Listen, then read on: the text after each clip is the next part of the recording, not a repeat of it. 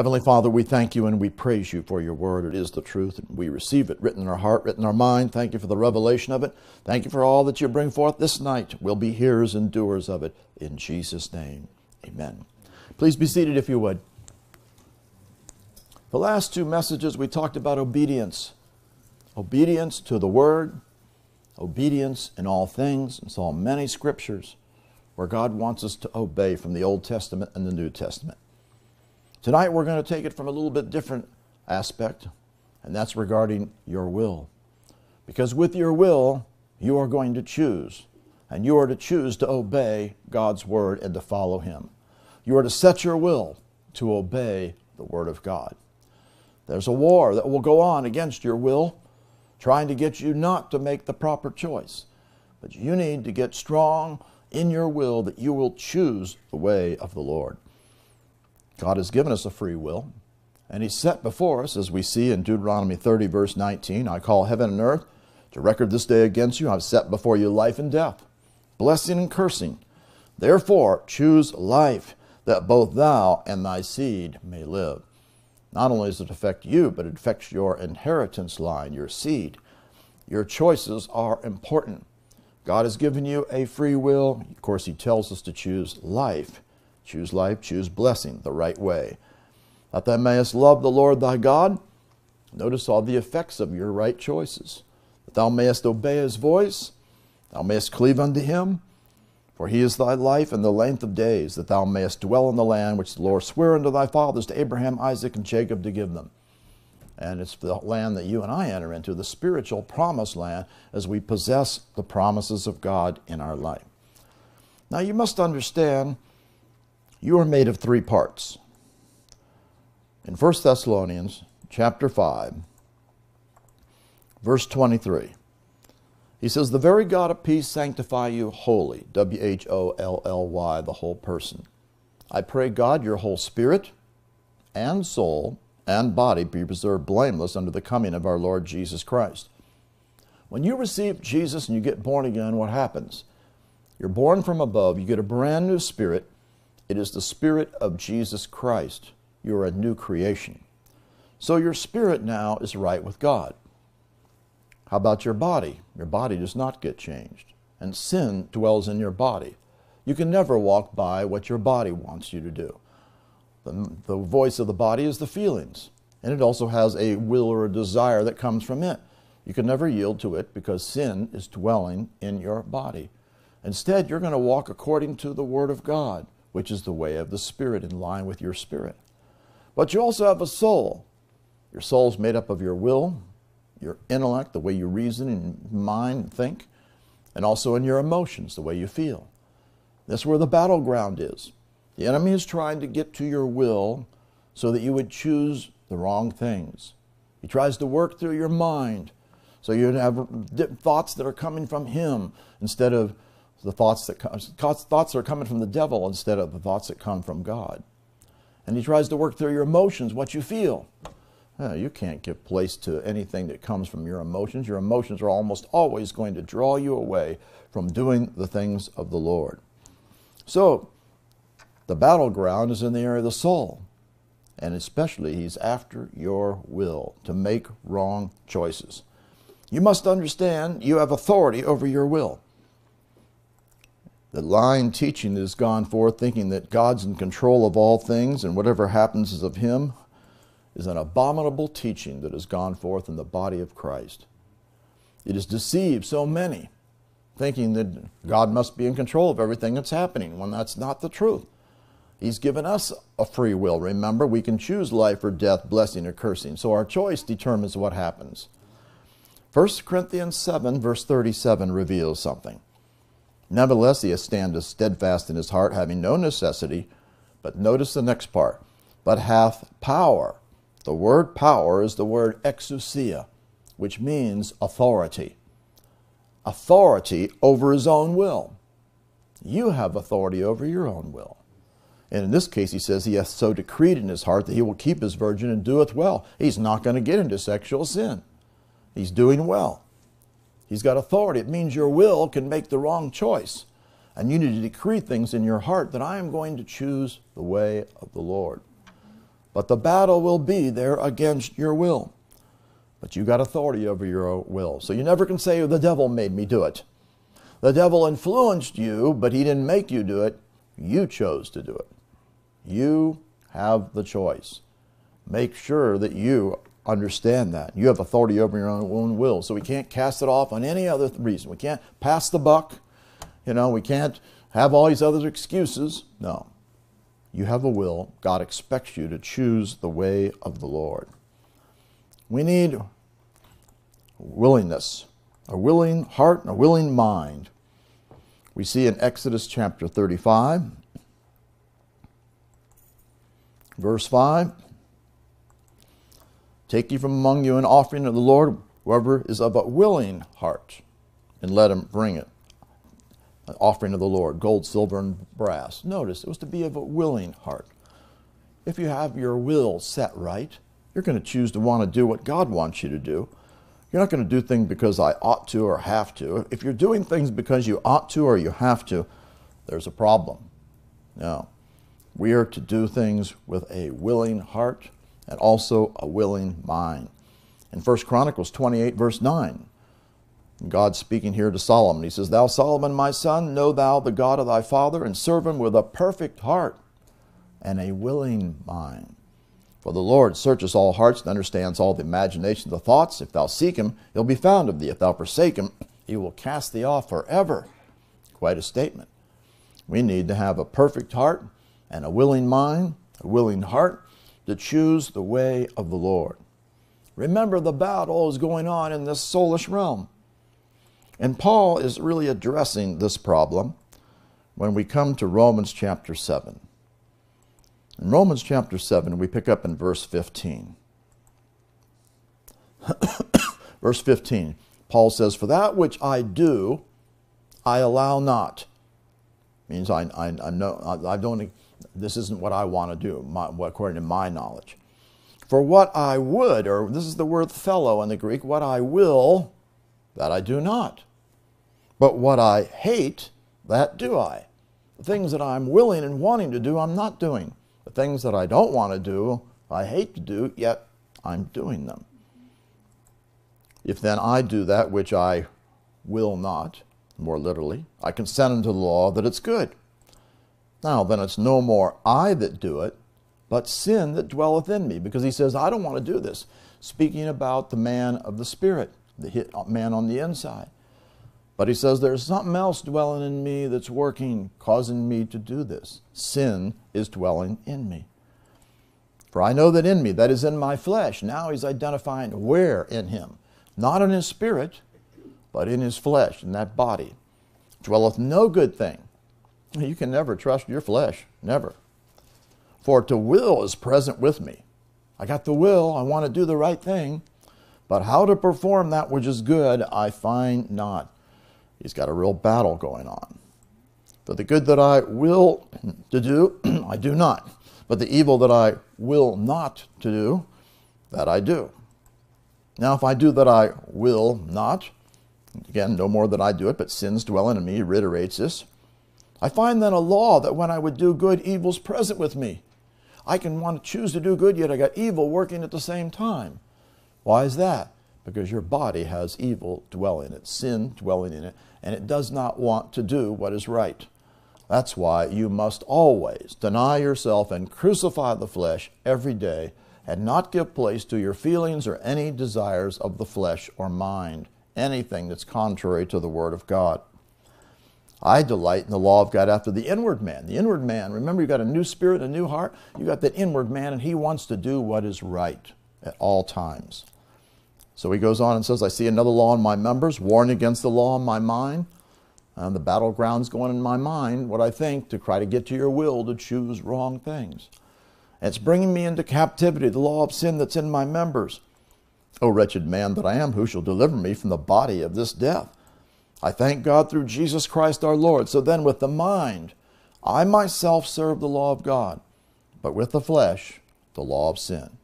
So the key will be you got to get your mind renewed to the Word so that then you think, what does the Word say in this situation? And then your will will be able to choose to do the right thing. You'll choose life. You'll choose blessing instead of choosing the wrong way. It is mandatory for you to get the word in your mind so that you will make the proper choice because God's given you a free will and you're expected to choose the right way. We see over in Matthew, interesting statement that Jesus made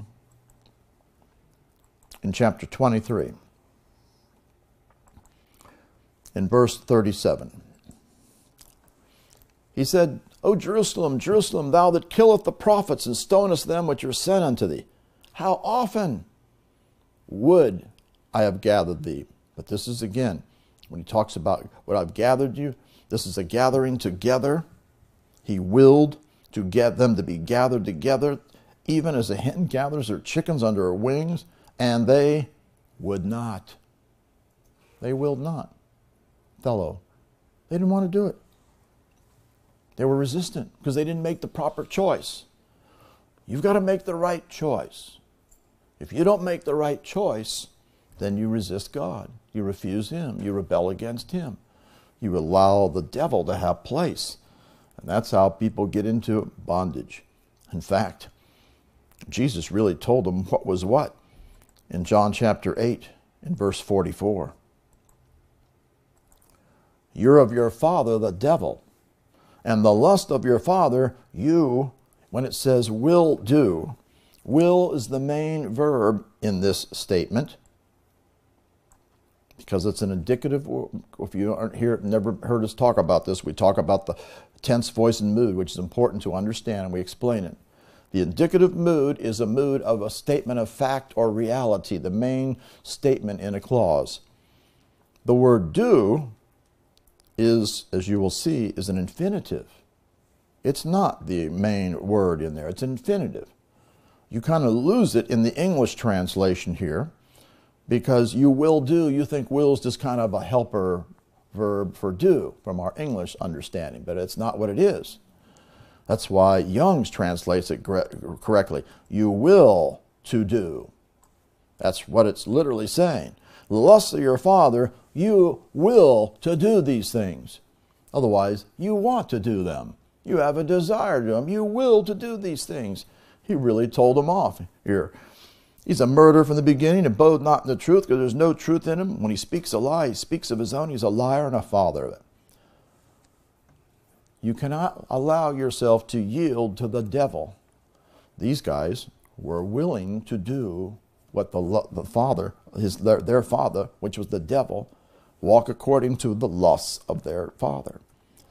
And we see over in Ephesians chapter 2 makes this statement You hath he quickened who were dead in trespasses and sins, where in time past you walked according to the course of this world.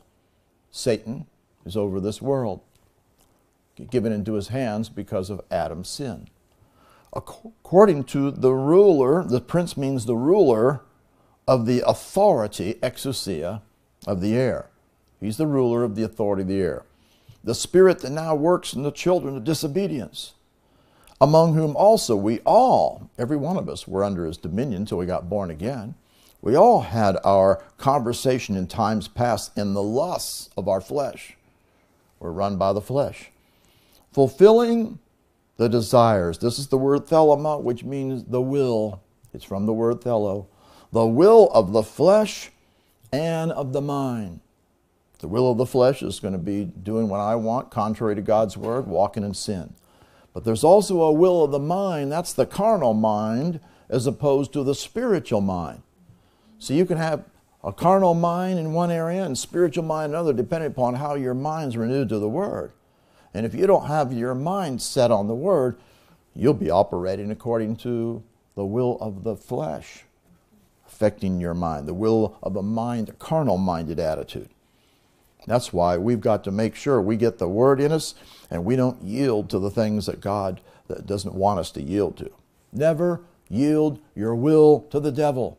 Yield your will to the word to choose what is right. Never yield your will to the lust of the flesh. You cannot allow that to happen, or you yield to sin. It's also interesting in Acts chapter 9. Acts chapter 9, when, when Saul got converted on the road to Damascus. And here is what he says what, after what the Lord said to him. And he said back to him, He trembled and astonished, said, Lord, what will thou have me to do? What is your will for you, for you that you have for me to do? What did how did the Lord respond? Did he say, Well, I will for you to do such and such? No, he didn't. He said, Arise and go in the city, and it shall be told thee what thou must do. And that tells you something. He was saying, My will is towards you to want to do the things you want me to do. And God responded and said, Well, that's great, because what should your will be set for? To do what you must do, what's necessary, what is mandatory. Necessary is binding according to the covenant. That tells you something. You and I are to get ourselves renewed in our mind, and we are to set our will for doing the things that we must do. That's what Paul understood from that. Oh, I must do, not like what his will for me is. What his will for me is what I must do. The will of God is what you and I must do. We can't walk in our own ways. We're not to live unto ourselves, remember, we're to live unto him. You're bought with a price, you're a purchased possession, you're not your own, you belong to him. And you are told, yield yourself unto the Lord and do what he wants you to do. We come over to Romans chapter 12, verse 1. I beseech you, therefore, brethren, by the mercies of God, that you present your responsibility to do this, that you present your bodies a living sacrifice, holy, acceptable unto God. That's your reasonable service. You're to present your body holy. How can I present my body holy when it's got sin in it? You don't give place to it. You don't let sin operate. If you don't let sin operate, then you'll present it as a holy vessel because you're not yielding to any kind of sin. You're not going to let it function in it. You're to be holy, acceptable unto God. It's like a living sacrifice. You make your body your slave, and you tell your body what to do. We're going to do the things that are in line with the Word of God. That's your reasonable service. This is why, and we talked about this the last time we're together, but we need to go over it again. In Romans chapter 6, verse 13. Well, if we back up to verse 12, it says this Likewise, reckon you also yourselves to be dead indeed unto sin, but alive unto God through Jesus Christ our Lord. You are dead to sin. Why am I dead to sin? Because the old you is dead and gone. There's a brand new you on the inside. Remember what it says here? Romans 6 7 He that's dead is freed from sin. You're brand new. Where you come from? From heaven. Remember, you're a citizen of heaven. Your spirit has come from heaven. Therefore, as he says, you're dead to sin. But You're alive unto God through Jesus Christ our Lord. And he says, Let not sin reign in your mortal body, that you should obey it and lust thereof. It's kind of watered down the way the King James says it because when it says this statement, it is not just saying, let such and such be, no, it's an imperative mood verb. The imperative mood in the Greek is the mood of command. It's also a present tense verb, which is the uh, tense that means continuous, repeated, ongoing action. So, what it says essentially is this a command. Do not ever continually let, do not let sin reign in your mortal body that you might obey it in the lust thereof. See, you don't have to obey it. You'd have to yield it to obey this thing continually and to yield it or you, to obey this thing. You know, you can't be obeying it whatsoever, ever, in the lust thereof. And then he goes on in verse 13, it's another command when he says, Neither yield your members of instruments of unrighteousness. This word yield here again is a commanding statement, it's an imperative mood. Present tense again. Again, it's literally saying, do not continually or ever yield your members as instruments of unrighteousness unto sin, but yield yourselves. And again, this is a command as well. imperative mood. Yield yourselves unto God as those that are alive from the dead. And you, what are you to yield? Yield also your members as instruments of righteousness unto God. God wants you to yield yourself to God. How do you do that? You do that with your will because you choose to do what God wants. You yield yourself to Him. You can yield yourself to the devil or you can yield yourself to God. You can yield yourself to something that's righteous or you can yield yourself to something that's unrighteous. It's all the choice at the point of your will. God wants us to make sure we're choosing the right thing. Of course, sin shall not have dominion over you anymore. We come to verse 16. Know ye not to whom, that's a person, you yield yourselves servants to obey. His servants you are to whom you obey. Otherwise, you're a servant of a person, of a, of a, personality. And who would that be if you yield to sin? You'd be obeying the devil unto death. That's what it produces. Or of obedience. Who would we be yielding to then? We'd be yielding to God. Obedience to the word. And what does that do? That produces righteousness. How do you get to have righteousness? It's through obedience to the word of God. If you're not obedient to the word, you don't have any righteousness. You're not going to have any fruits of righteousness. It comes because of you doing the word of righteousness in your life. We come down to verse 19. I speak after the manner of men because of the infirmity or weakness of your flesh. As you have now yielded your members servants to uncleanness and to lawlessness, the word iniquity means lawlessness, it's anomia unto producing more lawlessness, which it does. Even so now, yield your members servants to righteousness, unto holiness. How do we get to the place of holiness? Because of righteousness. How do we get to the place of having righteousness? Because of obedience. As you're obedient to the Word of God, it produces fruits of righteousness, and those fruits of righteousness produce holiness in your life. God wants us to set our will that we are going to obey the Word of God. So it produces fruits of righteousness to produce holiness in our life. We need to set our will that we're going to choose the things God wants. Luke chapter 10. We pick up over in verse 38. This is where Jesus, dealing with Martha and Mary, came to pass as they went, they entered into a certain village. Certain woman named Martha received him into her house. She had a sister called Mary, which also sat at Jesus' feet and heard his word. Good choice. Martha was cumbered about with much serving and came to him and said, Lord, dost thou not care that my sister hath left me to serve alone? Bid her therefore that she help me.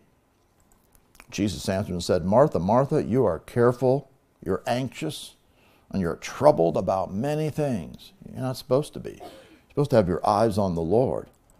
One thing is needful, he says. One thing is needful. Mary hath chosen that good part, which is what? To sit at the Master's feet and to hear his word. What do you need to do? Hear the word of God so that you get your mind renewed to the truth and then your will choosing to do the things that God wants. And notice, it shall not be taken away from her.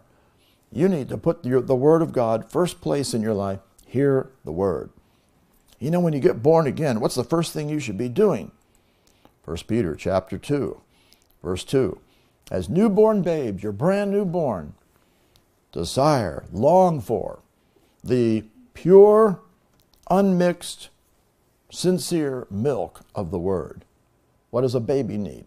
Milk right away, so he grows. What do you need? Spiritual milk of the Word of God, so you begin to grow in the things of God. You begin to learn who you are in Christ and you begin to get the word in you that's going to spiritually strengthen you and feed you and bring revelation to you. Psalms chapter 1, verse 2. His delight is in the law of the Lord. In his law does he meditate day and night. God wants you to get the word in you and know the word. You need to delight in the word of God and meditate in it day and night. What's going to be the result of that? You'll be like a plea, a tree planted by the rivers of water that bring forth his fruit in his season. His leaf shall not wither, and whatsoever he doeth shall prosper. That's what you'll be like. You're going to be bringing forth fruit. You're going to be not withering whatsoever, and you're going to be prospering in the things that you do. In fact, God wants you to delight greatly in the commandments of the Lord. Psalms 112, verse 1. Praise you, the Lord. Blessed is the man that feareth the Lord, that delights greatly in his commandments. You delight greatly in his commandments, you're going to be choosing his commandments. You want the commandments of the Lord because you know they're teaching you the right way to walk in. His seed, what's going to happen to the guy who delights greatly and, and, and has the fear of the Lord? His seed's going to be mighty upon the earth. The generation of the upright will be blessed. Wealth and riches will be in his house. His righteousness will be enduring forever. All these great things are going to happen for you because you have the fear of God and you delight greatly in the commandments of the Lord. Now remember, you have a will. You need to choose the right things. We see in Isaiah chapter 56, verse 4. For thus saith the Lord unto the eunuchs that keep my Sabbaths, and choose the things that please me, and take hold of my covenant. Notice that. You're to choose the things that please God. Don't choose things that don't please God. Stay away from those things. Take hold of the covenant. Choose the things that God wants. That's what He's looking for. We see another place. You need to choose to serve the Lord. In Joshua chapter 24, verse 15, look what he says. If it seem evil unto you to serve the Lord, choose you this day whom you'll serve. Whether the gods which your fathers served that are on the other side of the flood, or the gods of the Amorites in whose land you dwell. But as for me and my house, we will serve the Lord. That's the decision you need to make. For me and my house, we're going to serve the Lord, and that's it. We're not going to serve anything else but walking in the ways of the Lord. Which means you're going to have to stand up against anything that is not of the Lord. Isaiah chapter 7, verse 15. Butter and honey shall he eat, that he may know to refuse the evil and to choose the good. When evil comes, refuse it, reject it. Do not have anything to do with it. Choose the good. Always choose the right way, the things that God wants. And of course, that's going to be the way of the Word in every situation. Psalms 119 speaks of this. Psalms 119 and verse 30. He says this I have chosen the way of truth. That's what you should be choosing the way of truth. Thy judgments have I laid before me. You're not going to choose any other way but the way of truth. That is the only way that is going to lead to eternal life. Psalms 173 Let thine hand help me, for I have chosen thy precepts. Why should God help you? Why is his hand going to help you? Because you made the right choice. I've chosen thy precepts. The word precepts is a word which refers to, when you study it out, it refers to the rules of action, conduct, and behavior according to a written law that are responsibilities that God requires of his people. He expects you to do them. Because remember, we're, uh, we're under the New Testament law of Christ, and we are to choose the way of the Lord and do the things he wants. At the same time, hey, the enemies, they're going to try to hinder you. Hebrews chapter 11. You got to always be ready to choose the right thing in the face of anything that comes against you. By faith, Moses, when he was come to years, refused to be called the son of Pharaoh's daughter. He had it made. Uh, nope, not going to go that direction. Choosing rather to suffer affliction with the people of God than to enjoy the pleasures of sin for a season. Oh, sin's got its pleasures, but it's only for a season because, again, you're giving place to the devil and the destruction comes in and curses come upon you and demons come into you. Don't make the mistake of wanting to enjoy the pleasures of sin for a season. You're going to pay the price big time. Suffer affliction instead. He says, I'll suffer this affliction with the people of God, the pressure that comes against you. You will have affliction. Remember, all those that are living for the Lord, they're going to have pressure that is going to come against them, every single person. And you're going to go through much pressure if you're going to enter into the kingdom. Remember the scripture in Acts chapter 14, verse 22, and we talked about what we must do, the must message. Confirming the souls of the disciples, exhorting them to continue in the faith, and that we must, through much tribulation, much pressure, enter into the kingdom of God. The pressure will come. Don't be moved by it. Just know it's going to happen. Jesus was tempted in all points, yet without sin. You will have the pressure. You got to be ready to deal with the pressure that comes against you. And it's trying to get to your will, to make, give place to the devil, make wrong choices, yield to things that are not of the Lord. Of course, that's why you have to stay away from the things of this world and choose what pleases God. Your will is so important. Obedience because of the fact that you make the proper choices. We saw this before, but we need to look at it again. In Proverbs 123. He says, Turn you at my reproof. That's his correction. What's going to happen? When you respond to what God tells you to do, a good thing's going to happen. Behold, I'll pour out my spirit unto you, I'll make known my words unto you. Oh, the Holy Spirit's going to be manifesting himself to you, and you're going to get revelation of the, the word. Because I've called and you refused, I've stretched out my hand, no man regarded. You set at not all my counsel, and with none of my reproof. I will laugh at your calamity, and I'll mock when your fear cometh. Why would all those things come? Because you're not walking in God's ways, which means you're choosing something else, giving place to the devil, and he's going to come in and bring calamities and all kinds of destruction. And God is not going to respond just because you have a problem. He does not respond because of the, the wrong choices you've made. He responds when you get right with Him and choose to do what He wants you to do. Confess your sin, repent, have a godly sorrow that turns away from it. He's not a God who responds just because you have a problem. If that's the case, everybody on the face of the earth would have God working for them because they got all kinds of problems. but most all of them, they're all in bondage because they're not choosing the way of the Lord, unfortunately. When your fear comes as desolation, your destruction comes as a whirlwind, when distress and anguish come upon you. Who's bringing that? The devil. Then they shall call upon me, and I'll not answer. Wonder why God's not answering my prayers. Well, have you dealt with all the sin areas in your life yet? No, I'm just trying to get out of my problems. You're going to go nowhere. He's not going to respond. They shall seek me early, but they shall not find me. You cannot be calling upon him and seeking on him if you have not dealt with your sin and turned away from it, confessed the sin, had godly sorrow that works repentance. They hated knowledge. They cast the word behind their back. Did not choose the fear of the Lord, which is to hate evil, and to choose to walk in the way of knowledge and wisdom and depart from the things that are not of the Lord. See, God just doesn't do whatever you want Him to do, He does His word. He will always perform His word, but if you reject His word, you're out there and in the land, a dry land, in trouble. The rebellious dwell in a dry land. You're going to get smit by the enemy. They would none of my counsel. They despised all my reproof. Therefore, they're going to eat the fruit of their own way and be filled with their own devices. You can choose your own way and get destroyed. Well, God allowing that? He'll allow you to do anything you want because He's given you a choice. You can choose life or you can choose death. You can choose blessing or you can choose cursing. Does he want you to choose death or cursing? No, of course not. But he's given you a free will. He's not going to usurp authority over your will. You've got to choose the right way. The turning of the way of the simple will slay them, and the prosperity of fools shall destroy them. They get, get their eyes off the Lord.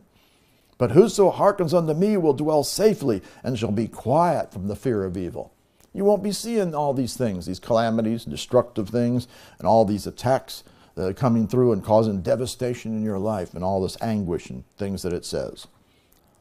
God wants you to choose the fear of the Lord, choose the knowledge of God, choose to do what's right, hearken unto Him, be obedient to the Word of God, and set your will to choose what He wants. Amen. We see over in Romans chapter 1, verse 15. So as much as in me is, says, what's ever, what's so much as in me in, I am ready. This is a word which means ready and willing. I am ready and willing to preach the gospel to you that are Rome also. You and I are to be in season, out of season, ready to preach the gospel. What are you here for? Remember, you're an ambassador for Christ. You're uh, sent forth. You are a pilgrim here. You're a stranger. This is not your home. You're a pilgrim sent to preach the gospel and to minister to other people. You need to be willing and ready to preach the gospel wherever you might go and to share the word of God with people. He wants you to be ready and willing to do this. We see also another thing, and we talked about this the last time. With your will, you must govern your mind. It's mandatory. 2 Corinthians 10:5 casting down imaginations that means you cast down reasonings anything going on in your mind and every high thing that exalts itself against the knowledge of God. Well, how would you know? Because you think about what the knowledge of God says. If you don't have the knowledge of God, you're in trouble because you'll just be following whatever comes in your mind. But you think about what the Word says, with give the knowledge of God. Now, if anything that exalts itself, raising itself above what the knowledge of God says, trying to get you to do that instead, you just ignore the knowledge of God or don't, don't have it or just throw it behind your back, you'll be in trouble. Bringing into captivity every thought. Every thought means every thought. To the obedience of Christ. And having in a readiness, again, prepared and ready to, of revenge or to be able to uh, protect and defend yourself against all disobedience. What disobedience? The devil's attacks against your mind. What are they trying to do? They're trying to get you to make wrong choices by thinking wrong. When your obedience is fulfilled, that's how you conquer the disobedience that comes against you. But, it, but it's mandatory for you to cast down re- mental reasonings, always think what the Word says, and never let anything take ascendancy over the knowledge of God, and bring into captivity every thought to the obedience of Christ. Another thing you need to choose to do Hebrews chapter 12, verse 1. Wherefore, seeing we also are encompassed about with so great a cloud of witnesses, let us lay aside every weight. Lay it aside. Lay aside just means put it off, put it away, anything that's weighing you down. And the sin that so easily besets us. Now, that sin that keeps on getting to you. You need to conquer that thing and run with patience or steadfastness the race that's set before you. We're going to get our eyes off of all these things. And of course, the next verse says, looking unto Jesus, the author and the finisher of our faith. The word looking, by the way, is quite an interesting word. Notice what it means below. Turn the eyes away from other things and fix them on something. Meaning, I'm turning my eyes away from everything except for fixing them on the Word of God, fixing them on the Lord. Jesus, the author and the finisher of our faith. If you keep your eyes on Him and you keep doing what He wants, you're going to walk in the right way. But you've got to choose the right things. Choose to lay these things aside. Matthew chapter 7. So you got to set your will, see, that you're going to choose what God wants and obey Him. Matthew chapter 7, verse 12. All things whatsoever you would that men should do to you, do even you even so to them. This is the law and the prophets. Uh, it's not really a good translation here. Translation. Young's brings it out. All things, therefore, whatsoever you may will, because this is not a helper verb for that. It's a subjunctive mood, meaning it's a conditional statement and the way you would translate it may be continually willing because it's present would be better. Whatever you may be willing that men, and then when it says should do, it's really may be doing. Same thing, another subjunctive mood with the present tense to you. Do, and this here, when he says do to them, he's giving you a, a commanding statement here, the word do this is an imperative mood. Otherwise, you do it. It doesn't matter what they do. You do what you would or want or willing to have people that they may do unto you. Now, does that mean that they automatically will do it unto you? No, because it's conditional for them as well. They may not. But you know, God will find somebody that will, because God will get things back to you. Whatever you sow, you're going to reap. Whatever you give out, it's going to be given back unto you. But many men people say, well, I thought, well, I did this to the men. He should have done it back to me. And that's not what the scripture says. Doesn't mean he's automatically going to do it. That he may be doing to you if he's obedient to God's word, doing what he should do. Nonetheless, you do to them. Remember, whatever you do, it's going to come back to you somehow. Because as we give out, it's always going to come back to us. See, you got to make sure that you're choosing the right things.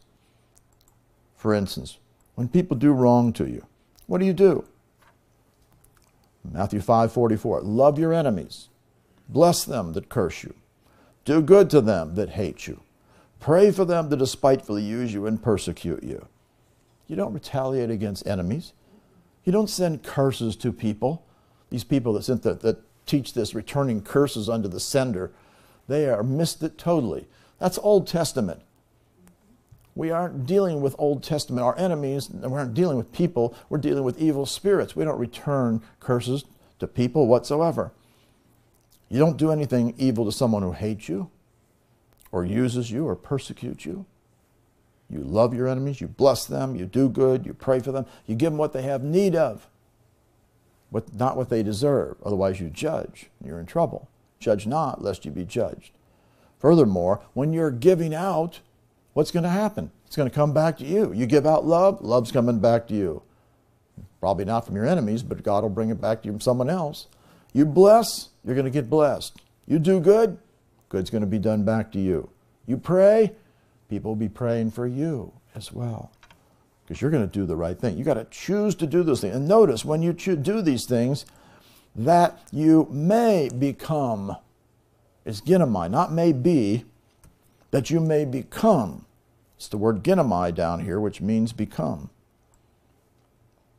That you may become subjunctive mood if you meet the, the, the, conditions, which is doing what the verse said before loving, blessing, doing good, praying for those, that you may become the sons, really. This is not children, it's the word huios, which really means the sons of your Father. Remember, we're born again as a child, but then we grow up to become sons. We gave a message on that some time ago. There's a difference. Become sons of your Father which is in heaven. Because you're going to grow up and do the things that God wants you to do. Otherwise, it's not automatic until we meet the conditions. Luke chapter 9. In Luke chapter 9, we pick up in verse 23. Certainly, we got to set our will to do the right thing. Luke 9:23, Jesus said to them all, "If any man will, main verb in the phrase, as we see, he may will, it's an indicative mood, which is the mood of a reality or a factual statement. Come, what is come? It's an infinitive again. There's the infinitive. That's why Young's translates it will to come, is why Young's is outstanding. If any man wills, may will, he's wills, may will to come after me. He set his will that he's going to come after me. That's what you need to do.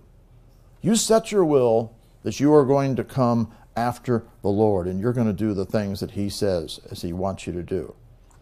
You're in present tense. So any man who is willing, setting his will essentially to come after me, what's the first thing you do? Let him deny himself. You're to deny yourself. Again, it kind of waters it down when it says, let him deny himself. It's an imperative mood. It would be better translated, deny yourself, not let him deny himself. It kind of waters it down a little bit, like it's a good idea. Well, let him try to do this. No, deny yourself. That's what it's saying in the Greek. And take up your cross daily. That's also a commanding statement. So, if your will is set to come after him, if you don't meet these conditions, are you going to be able to be successful in coming after him? No. You'll just be doing your own way. You deny yourself, you take up your cross daily, and you are continually to be following him. Because again, this is imperative mood, as we see, present tense. You're to be continually following the Lord. How do you do that? You're walking in line with the Word. And this word really follow here is a word which means you come, you're following him such to join him as a disciple, to become as a disciple. You're not just following him, just, you know, whatever you want to do. You're becoming a disciple. Remember, we're to make disciples of all nations. Every one of us are to become a disciple.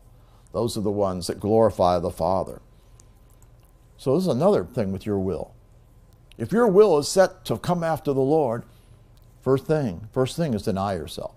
If you're still living into yourself, you're going nowhere. You may be getting a lot of knowledge, but you're really not developing yourself in your relationship with the Lord. You're to deny yourself. Why do you have to take up your cross daily, crucifying something daily? What's, what's to be crucified? The deeds of the body. You got to put it the death, all the deeds of the body. You can't be yielding to the deeds of the body. You're sinning left and right, and you're going nowhere. You're giving place to the devil. See, this is how people become religious. They have their form of religion, but it's no fruit, no victory, no, no nothing happening because they haven't met the conditions. They got, they're doing it their way. No. You set your will that you are going to come after him, which you must do, then you deny yourself. And you crucify that flesh daily, and you follow after him to become a disciple. Another thing you got to realize we mentioned this earlier, but here's another scripture that's important. You will have attacks from the enemy. I thought it was supposed to be smooth sailing when I got born again. No, you just started in the war. You're in the lifelong war because the devil hates everybody that's born again. 2 Timothy 3:12 Yea, and all that will again same main word willing and the word live here,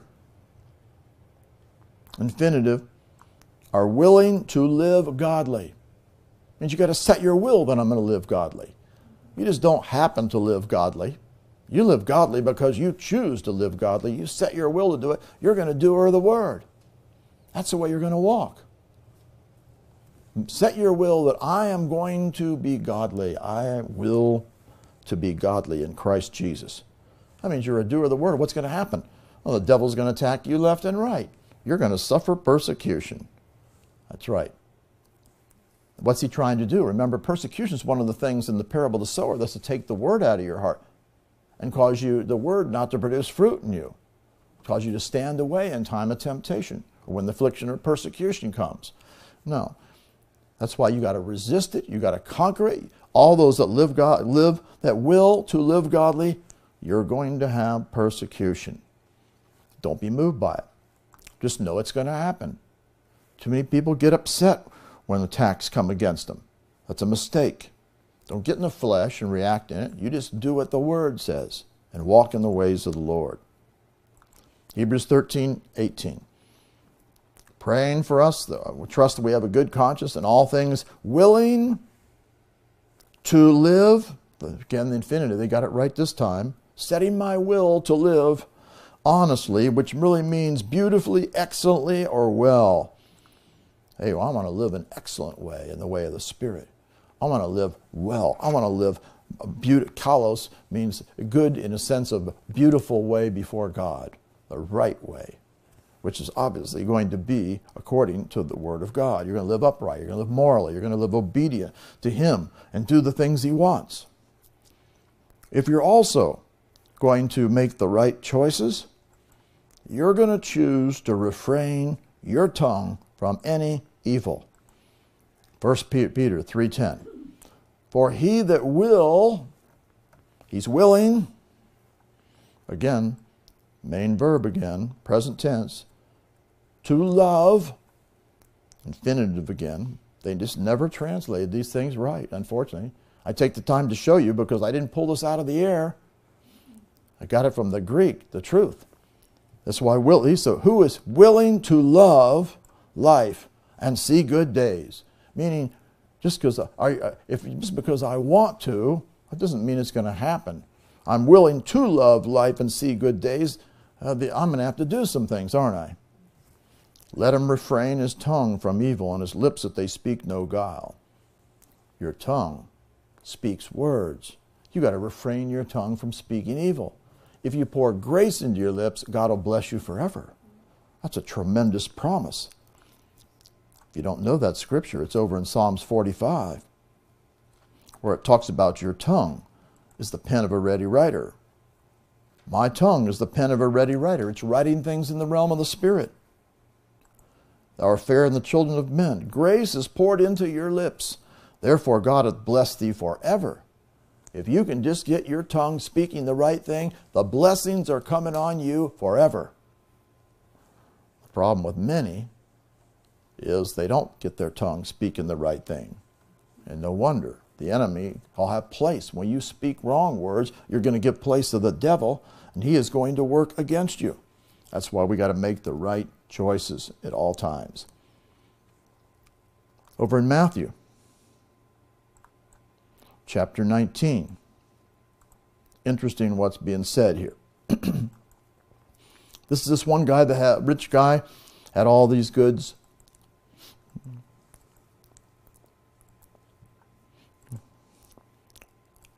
We come down here. Oh, this one is a, is a different guy. Good master, what good thing shall I do that I may have eternal life? Thinking that he could just do some good thing to have eternal life. He said, Why callest me thou good? There's none good but one that's God. But if thou, now he's telling them, how are you going to enter into eternal life? But if thou will, willing, to enter, Young's brings it out, same thing, into Zoe, the eternal life, what's the way? Keep the commandments. That means if we're not keeping the commandments of the New Testament, have we set our will to be able to enter into eternal life? No. Well, I'm willing to enter into eternal life. It doesn't matter unless you meet the conditions. You got to do what it says, which is what? Keep the commandments. That is exactly what needs to happen. And then in talking to this guy a little bit further, notice what he said now. Jesus said to him, If thou will, not will be perfect helper verbs, if you will, main verb again, if you are willing, present tense, to be, this is an infinitive again, there's the infinitive.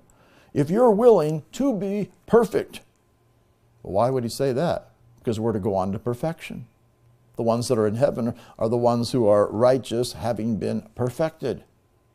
We're going on to perfection.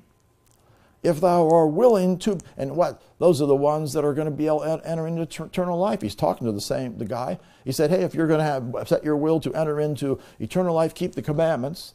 And now he's saying, if you're willing to be perfect, which is what you need to be also to enter into eternal life, go and sell that thou hast, give to the poor, and you'll have treasure in heaven, and come and follow me. What was his problem? He had an idol, money and possessions. Nothing wrong with having money and possessions as long as it doesn't have you. But he had possessions, and therefore that was an idol in his life. Get rid of your idol and come and be following me and become a disciple. That's the guy that's going to be, go on into perfection. And that's the, because he's keeping the commandments of the Lord and he's going to be blessed of the Lord. Look at Matthew chapter 20, down here in verse 26. It shall not be so among you, but whosoever will, may will. Now, this one again is the present tense subjunctive mood, meaning he may be willing. To be, become, not be, become. It's the word ginomai. Who, uh, whosoever may be willing, if he meets the conditions, to become, again, we'll show you it's an infinitive. There's the infinitive. You see? To be great among you, what's the answer? Let him be your minister, as it says. Or we missed the one thing here. Here's the be.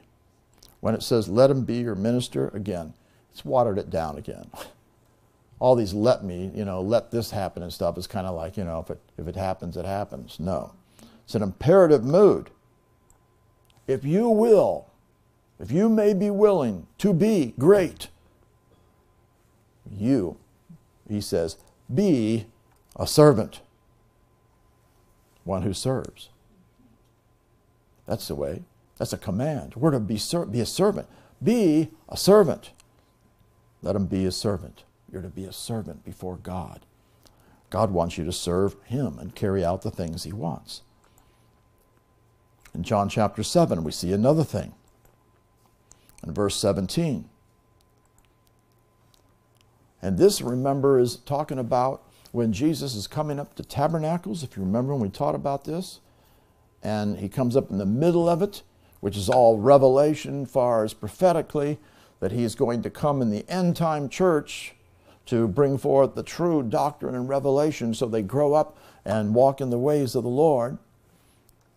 And here he says, if any man wills, it says, will do his will, you miss the whole boat again. If any man wills, subjunctive mood, conditional statement, present tense, the way you translate it, may will. To do, again, there's the infinitive. To be doing, present tense, continuous. So it would say, if any man may be willing to be doing his will. That's where you see you're supposed to be that. You are to be willing to do his will. If you're not willing to do his will, you go nowhere. Well, I just want to know his will and I'll think about it. you're in trouble. No. You must be ready to do what he reveals to you. Any man is may be willing to be doing his will. Literally it says, he shall know of the doctrine. He's going to get revelation. Otherwise, you don't just come to God to get a bunch of knowledge and then you think about whether you're going to do it. No, that doesn't work. You submit yourself to God as He's coming, as He is. You set your will that you're going to do His will, the Word of God. God's going to bring revelation to you. I'm ready to do it. You'll know, you'll know of the doctrine, whether it's of God or whether it's of myself. God's going to bring revelation. What goes right along with this also is over in John chapter 3, in verse 21. It didn't say he who discovers or learns truth comes to the light. It says he that doeth truth comes to the light. Not just by hearing, but by doing it consistently. Present tense. That's why you got to get committed. You set your will, you're going to do the word. That's it.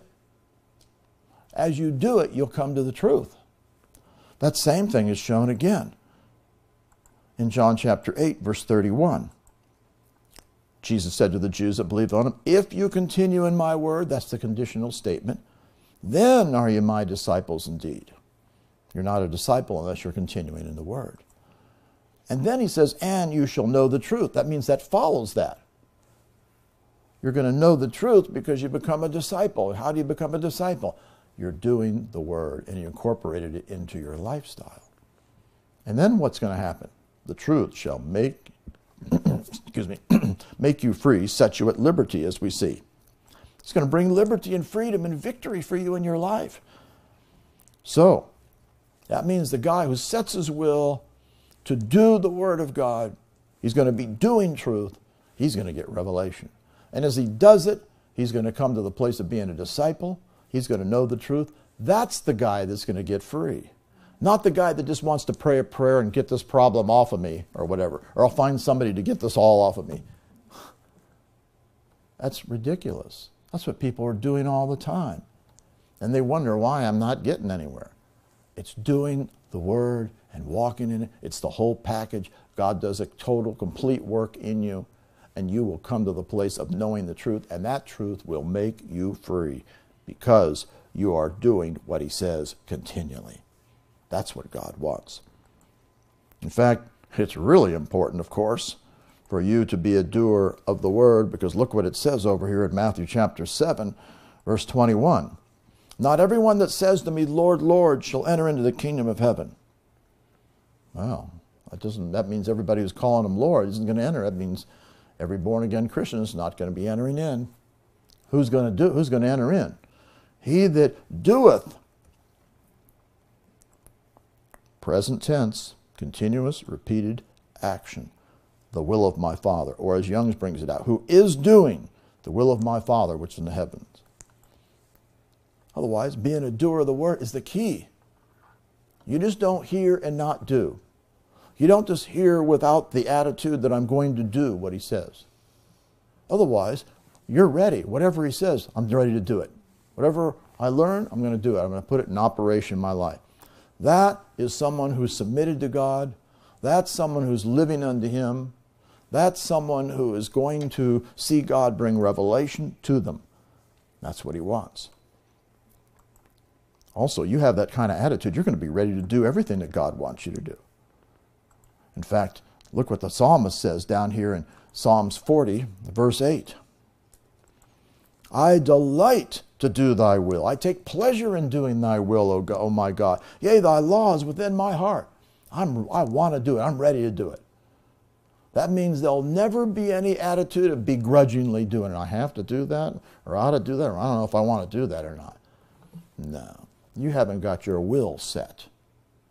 If you get your will set, I'm going to do the right thing, you will delight to do the will of God because the law of God will be within your heart and God will be, you'll be glorifying Him and He is going to be manifesting Himself greatly in your life. And that is what He wants. That brings us to a couple other important points. Isaiah chapter 65. As you are setting your will to do what He wants you to do and obey the Word of God, can you walk after your own thoughts? No. Isaiah 65, verse 2. I have spread out my hands all the day unto a rebellious people. How does he define someone that's a rebellious people? Which walketh the way that was not good after their own thoughts. Meaning, if you walk after your own thoughts, you're rebellious. If you walk after your own thoughts, you walk in a way that's not good. That means, what am I supposed to do with these thoughts? I'm supposed to submit them to God. If they're of the Lord, do them. If they're not of the Lord, you cast it down, you bring it into captivity, the obedience of Christ, you revenge the disobedient thoughts that are trying to get to you. And with your mind, thinking on what the Word says, you choose to do what God wants you to do. That's how you live. How many Christians out there are living this way? They should be. Everybody should be living this way. You, you know, don't walk after your own thoughts. As long as you're walking after your own thoughts, God says we are rebellious. That's quite an earth shaking statement to many people. Isaiah 65, verse 12. The latter part of this, he says, You did choose that wherein I delighted not. If you choose the wrong thing, are you going to be blessed? No. You're going to shut down God. He's not going to be able to do anything for you whatsoever. You when I spake, you didn't hear, did evil before my eyes, didn't choose the things that I delighted not in. We need to choose the things that God wants. And we can't be choosing to walk in sin. What happens if you choose to walk in sin? Hebrews 10 makes it pretty clear because you didn't set your will to do the right thing. Look what it says in Hebrews 10:26. If we sin willfully, we know what we're doing. After we have received the precise correct knowledge of the truth, we know the word. We know exactly what it says. There remains no more sacrifice for sins to get out of it, but a fearful looking for judgment and fiery nation will devour the adversaries. Well, I'll just confess my sin real quick and everything will be fine. Well, that's good, but you still have the effects of your sin. say, well, how could that be? Well, let me give you an example. You commit fornication, you know it's wrong, but you willfully went in and did it. I confessed my sin real quick. I repent and got right with God. How about the effects of your fornication? I remember a particular case of a person who did that and they got the AIDS virus. And after they confessed their sin, it wasn't gone because the effects of their sin was there. But they had to learn, they, they really had true repentance. They had to cast out the demons. God could turn things around. He can, but you still have the judgment that comes in. the judgment's going to come if we walk, are willingly doing what is wrong and walking in the ways of sin. You can't just confess your sin real quick and, ah, oh, it's all gone and everything's great. No. That person learned it for sure. Now they had all these problems. Think of how many people have gotten all kind of problems from sexual sin. The sexual sins out there in the world is rampant and all the diseases we're talking about. It's rampant, all the things that have happened. We've got to choose the way of the Lord and make the right choices and do the things that He wants us to do at all times. Another thing, we must be ready to do the right thing and not ready to get all upset and want to judge somebody. We already talked about that once, but look at what it says here in Luke chapter 9, verse 54. His disciples, James and John, saw this and said, Lord, wilt thou? Are you willing? Is your will that we command fire to come down from heaven and consume them? Let's get rid of them, even as Elias did. he turned and rebuked him and said, You know, know what manner of spirit you are of. You're the devil otherwise. Are we supposed to be doing that? No. We're supposed to be loving our enemies and blessing those that curse us and praying for those, right? not bringing this thing. He said, The Son of Man's not come to destroy man's life, but to save him. We want to call them to repentance. God will seek him. He's long suffering, not willing any should perish. Not smite him and finish him off. That's a wrong spirit. We cannot be judgmental and have these kinds of attitudes. Judge not, or you are going to be judged. We can't allow that. Set your will that you're always going to do what God wants you to do. Luke chapter 10, verse 29. Let's go back up a little bit. This is the guy who was saying about the lawyer comes and says, Hey, what do I do to inter- inherit eternal life? Know, he's always thinking of the big picture here. And he says, Well, what's written in the law? How readest thou? He says, Well, I'm going to love the Lord thy God with all thy heart, soul, strength, mind, and neighbor as thyself. That's right. Thou hast answered, Right, this do, and you'll live. But he, willing to justify himself, said unto Jesus, Well, who's my neighbor? Does that mean everybody? Or can I just, you know, eliminate some of these people that I can not walk in love toward? He's willing to justify himself. No, it was a mistake on his part. Otherwise, he was not going to do what the word said for everybody because he was trying to justify himself. Uh, we can't do that. We got to be no, no respecter of persons and carrying out the things that God wants us to do at all times in our life. We see another thing in John chapter 6.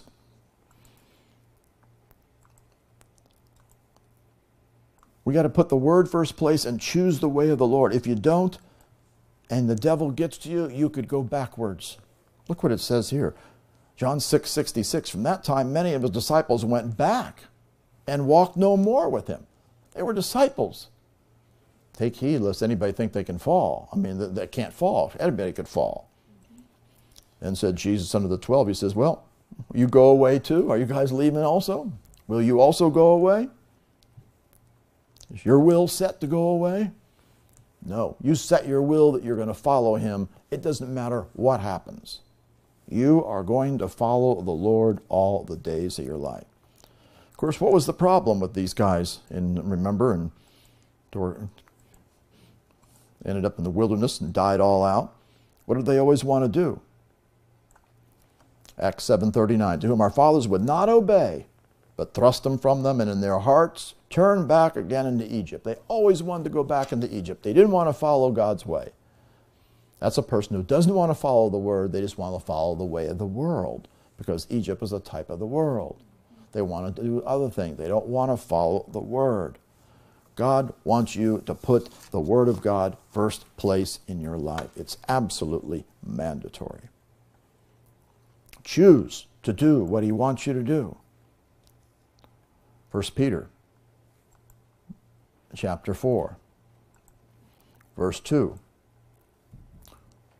that he no longer should live the rest of his time in the flesh to the lusts of men, but to the will of God. We're not going to live to any time about the lusts of the flesh whatsoever. For the time past of our life may suffice to have wrought the will of the, the Gentiles or the will of the nations, when we walked in lasciviousness, lust, excessive wine, revelings, banquetings, abominable idolatries. No. We got to set our will that we're going to live to the will of God. We're going to do all the things that God wants us to do. That is so important. And see what happens if you don't walk in the ways of the Lord. You're giving place to the devil, and he's going to come in. In fact, he can take you captive at his will. You mean the devil can get me? That's right. 2 Timothy 2.25, meekness instructing those that oppose themselves, if God prevents, will give them a repentance to the acknowledging or come to the precise, correct knowledge of the truth, that they may recover themselves out of the snare of the devil, who, has, who are taken captive by him at his will, the devil's will. That means when you give place to sin, the devil has the will and the choice, and he can come in and take you captive because you've given place to him. And that is exactly what happened. So, what are we to do? God wants you and I to put the Word of God first place. Two important scriptures that we need to look at Philippians chapter 2, verse 12. Wherefore, my beloved, as you've always obeyed, not as in my presence only, now much more in my absence, work out, present tense, continuous repeated action, your own salvation with fear and trembling. That means we continually are doing, and this, by the way, is an imperative mood as well. He's commanding you and me, be working out your salvation with fear and trembling. How do you do it? Always obeying. Always obeying. And then what's happening? God's at work in you to both the will and to do of his good pleasure. See, these people that have said, well, it sounds like you're saying we're going to be saved by works. So we can't do anything by works. No, we're not saying that at all. What are we saying? We are to work out our own salvation by doing the word, which does what? Puts God in operation to perform it in our life. In other words, God's doing the work. How's he doing the work? Because we're doing the word. Can he do the work if we don't do the word? No. So we have a work, what? A work of faith that puts him in operation. Is that our own works? No, it's his works. We're doing his works. Essentially, his word to put him in operation. So many people have been deceived by this. In fact, we must obey him if we're going to see God accomplish the salvation of the Lord in our life. Because look what it says. Speaking of Jesus, being perfected, more literally, he became the author of eternal salvation to who? To all those that are born again? No. To all them that obeyed him once in their life? No. To all them who, present tense verb, are obeying him. That's why Young's brings it out to all those obeying him. That's ongoing. That means if you're not obeying him continually, is he going to you're to see the eternal salvation come? Nope. See, we got to know the truth of these things and walk in the ways of the Lord. Remember, we talked about this the last time, but we got to bring it up again. Judgment is coming to the church before it comes to the world. Everybody's waiting for Jesus to come back and get us out of here. It's a lying teaching from the devil. The judgment is coming to the church first before it comes to the world. The time has come that judgment must begin at the house of God. And if at first, first in time and place, begin at us, that's right. What shall be the end of those not obeying, they're not obeying the gospel of God, present tense. Well, they're in trouble. And remember, we have pressure that comes against us. If the righteous scarcely, the word scarcely means with difficulty and not easily. Meaning, it's not going to be clear sailing. You're going to have to resist the enemy, conquer the temptation, the persecution, the attacks, pressure from the enemy. be saved. Oh, they're already saved. No, it doesn't say that. These guys that did the translations, they're in trouble. They are really in trouble. It's a present tense verb. It would be translated if the righteous, with difficulty and not easily, are being saved. That's the present tense. Where shall the ungodly and the sinner appear? Well, that shows you the fact that that's why we're working out our own salvation with fear and trembling. It's an ongoing process, isn't it? Of seeing this happen. You're saved as long as you're staying with the Lord and following Him. Remember, God looks at you at any time by what you're walking at at any time. Remember the guy who turned away and says, Well, I'm not going to walk in his ways anymore. We're going to follow lawlessness. He says, Depart from me. Or the guy's a worker of righteousness. I don't know you. Otherwise, the way you're walking at any point in time is the key. Just stay on the road of the Word of God and you're fine. People say, Well, how do I know if I might not make it? Just stay on the road of following the Word of God, you're fine. You're saved and you'll stay saved. And you're working your salvation out. You get off track, you're in trouble. You don't ever want to get off track whatsoever. And one last scripture 2 Corinthians chapter 2. And we finished with this the last time, verse 9. To this end did I also did I write that I might know the proof of you. What's the proof of you? What's the I like that one part, tried character. The proving of character, the, the whether you're the real deal, basically. Whether you be obedient in all things. In your obedience, you show you're following the Lord. In your obedience, you show you have the fear of God. In your obedience, you show you're the real thing. You're a real disciple. You're really following the Lord. Obedient, not just in a few things, obedient in all things. That's what he's saying to the Corinthian church. Remember, he had a lot of problems with those guys. Those guys had all kinds of problems. He's correcting them after thing after thing after thing. Someday we'll go through the Corinthians and show all the different things where they were messing up on. He was coming to correct them on all these things, try to get them straight. And now in this second letter, he's saying, Are you being obedient in all the things? Oh, they were a problem. God wants you and I to be obedient in all things and do everything that He wants us to do. In fact, I said we're going to quit there, but we had to look at this scripture. Look at this scripture. This is quite a scripture. Whosoever shall do, not a future tense, subjunctive mood, meaning it's a conditional statement, might do, because it's aorist tense, just a straight statement, Whoever might do, if you do it, the will of God, the same as my brother, my sister, and my mother. Meaning, who's the family of God? The ones who are doing the will of God. Not someone who just signed on the dotted line, got born again, and then he's walking in the flesh, or walking in lawlessness, or walking in unrighteousness, or doing whatever he wants. No. It's all lying teaching from the devils. Deceive the entire body of Christ. What a mess. That's why we got to put out the truth. I'll tell you, anybody that doesn't look up the Greek on all these things and see these things, they are sunk before they're in trouble before the Lord because everybody who teaches the word, they have the greater condemnation if they don't bring it forth accurately in truth. We have to be exactly precise, correct knowledge.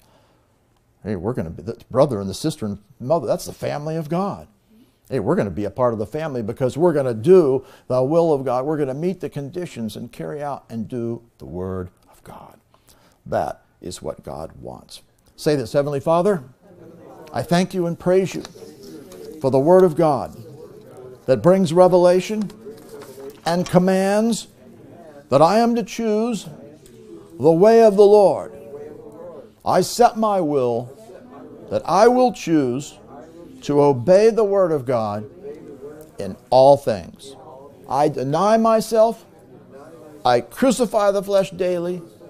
I am following the Lord in obedience to His command continually to become a disciple. As I continue in the Word, doing the Word, I will know the truth. The truth will make me free. I set my will that I am going to do the Word of God continually. And I thank you that I will see the blessings of God come forth. I will be a fa- part of the family. I will come to perfection. I will be entering into eternal life. I will enter into the kingdom. All these things we've seen. I will meet the conditions. I set my will to do all the things that the Word of God says so that I will walk with Him and I will see all the blessings come forth in my life. So, Heavenly Father, I set my will this day to do the Word of God all the days of my life and be obedient in all things. In Jesus' name, amen. Praise God. Hallelujah. Father, we thank you that everyone has ears to hear and they will understand the importance of this message and the things that are declared in the Word of God. Thank you that we will do it. We will set our will to obey the Word, and we will walk with you all the days of our life. In Jesus' name, amen. Praise God. We got lots more things to talk about as we're talking about many different subjects that are showing us our way on to perfection in the Lord to become a part of the glorious church. Of course, conquering every enemy, overcoming in everything, and seeing God accomplish His great work in our life. And we got more to talk about on other things coming up this Sunday. Praise the Lord. Hope you will be here to hear it. If you need prayer, invite you to come forward.